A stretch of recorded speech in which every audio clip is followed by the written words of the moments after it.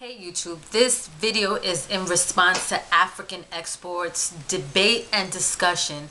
Should natural hair care be should natural hair care be regulated and require a license?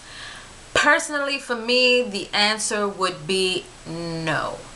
Because I, I do believe that it's a cultural thing. It's something, uh, you know, in regards to hair braiding and, and things like that. It's something that you just grow up knowing, you know. Um, but I guess with, with um, the natural hair movement, um, the demand's going to be there for more stylists and salons to to know how to um, work with natural hair textures. And she asked, you know, would I let someone um, who does not have a license for natural hair care work on my hair? Yes. But with that being said, they have to have a clientele that have natural hair. They have to have worked on natural hair. I have to see reviews. I have to see raves about their work. You know, I would personally, I would feel more comfortable if the person working on my hair was also also natural.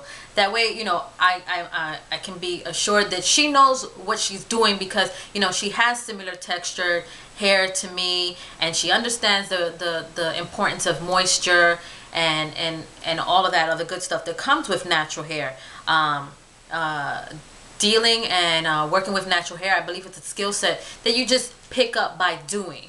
You know, I, I don't know if they can if they can. I'm yeah, well, I'm sure they can teach it in in schools. You know, um, how to deal with hair. But personally, for me, like like you know, what the main question was, do for somebody to work on my hair, do do I feel like they should have a license? No, as long as they know what they're doing, as long as I can see that they have worked with the with my type of hair, and um, and they have some kind of idea not some kind of idea i need them to know what they're doing. Since i've gone natural i have not been to a salon. The last time i went to a salon i went to a natural hair salon and that's when i got my big chop and all that was was cutting off some hair. There was no styling involved or nothing like that. It was just cutting. So um it, you know if i do go to a salon of course i'm gonna i'm gonna want to go to a salon that um, specializes in working with natural hair. Um, a lot of people say they like to go get roller sets and stuff like that. Right now, I'm loving my curly hair and I'm actually afraid to get it straightened, but that's neither here nor there and that's a whole nother other video. So once again, just to answer um, African Exports question, no, I don't think it should require a license, but I do think that you should have a lot of experience and know what you're doing. Um, I want to say thank you to African Export. It was a great question. It had me thinking.